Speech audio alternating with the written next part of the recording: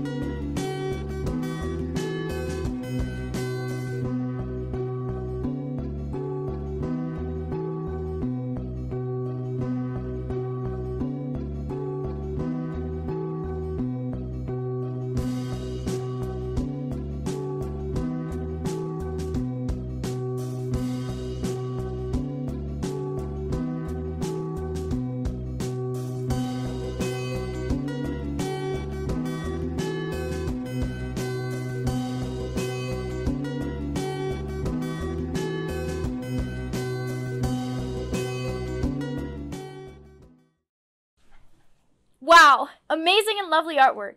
Now let's transition to our regular segment, Keeping Up with the Majors.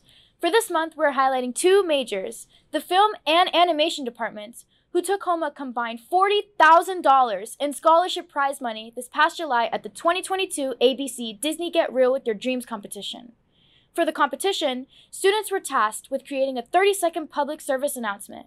Here is Sierra Collier and Anise Atwell Hudson's first place winning PSA.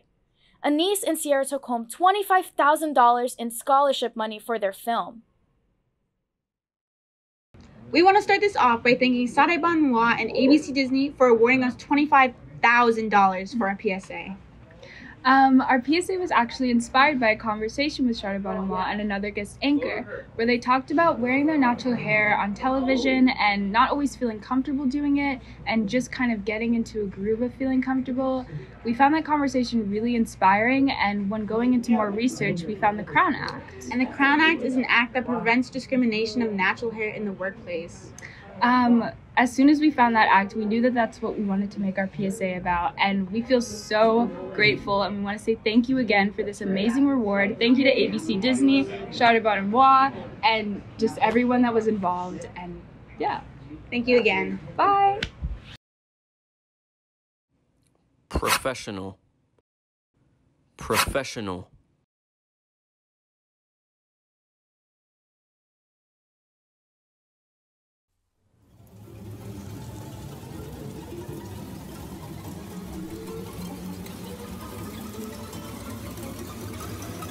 not professional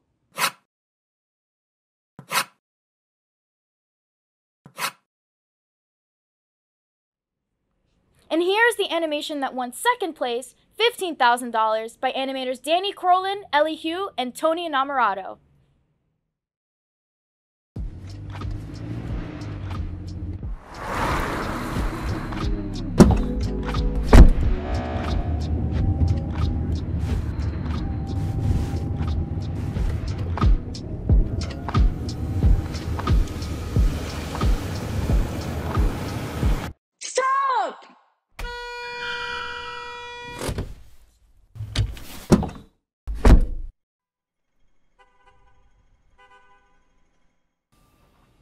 Wasn't that incredible? We'd like to sincerely thank ABC Disney for these generous awards, and in particular, Sade Baderinwa for spearheading and hosting the competition. Happy Hispanic Heritage Month! Hispanic Heritage Month is observed annually in the U.S. from September 15th to October 15th. The event honors the histories, cultures, and contributions of American Latinx and Hispanic communities. The commemoration began in 1968 as Hispanic Heritage Week. It was expanded to a month by President Ronald Reagan in 1988. we asked Ms. Montesino to tell us about the Latinx discussion panel that was held in her class featuring Latinx staff and students. In honor of Hispanic Heritage Month, our students invited Hispanic teachers and staff members to participate in a student led panel. In the panel, students created questions that dealt with machismo and our childhood and how sometimes you're treated differently if you're a woman or you're a male, even by your own parents. We also talked about the lack of representation in the curriculum, also in media. We discussed different topics ranging from our culture, our food. We even had a debate between students and teachers, and even teachers and teachers, where we spoke about sancocho and if we should be eating sancocho when it's 90 degrees outside. The panel was a success, and we hope to continue to create these spaces at Art Design where Latinx members can come and share their experiences and identities and feel safe and feel comfortable. On September 21st, Art and Design celebrated the unveiling of the two new murals located at the entrance of our building and the school's roof. Both murals were painted using state of the art, air purifying paint. Here's some of the footage from the event.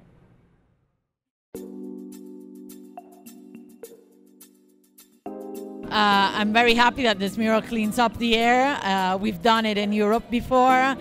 You leave a legacy. You know, this is what, you know, after you're gone, it's still doing its job, cleaning the, the, the air and just makes you proud.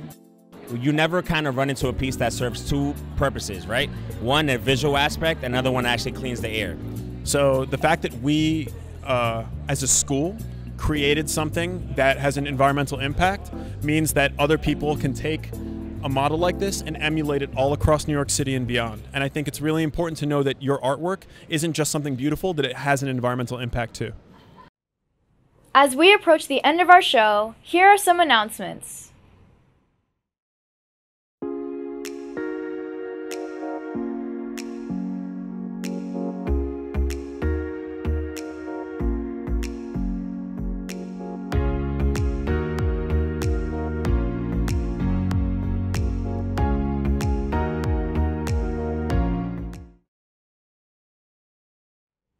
And that concludes our first newscast of the school year. If you enjoyed this newscast, please subscribe to our YouTube channel. Also, if you're interested in our school, follow us on Instagram and check out our school website. Hasta la vista, Art and Design!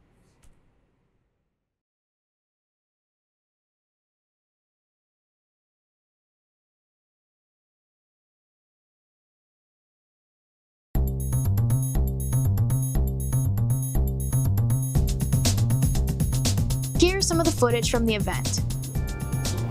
Nej, det är fan. Yeah. Oh. Wow. Amazing and lovely artwork. Oh, no. Uh, you wait, no, no, wait. Three. On September 21st, Art and Design. That's me. That's me. I'm so sorry.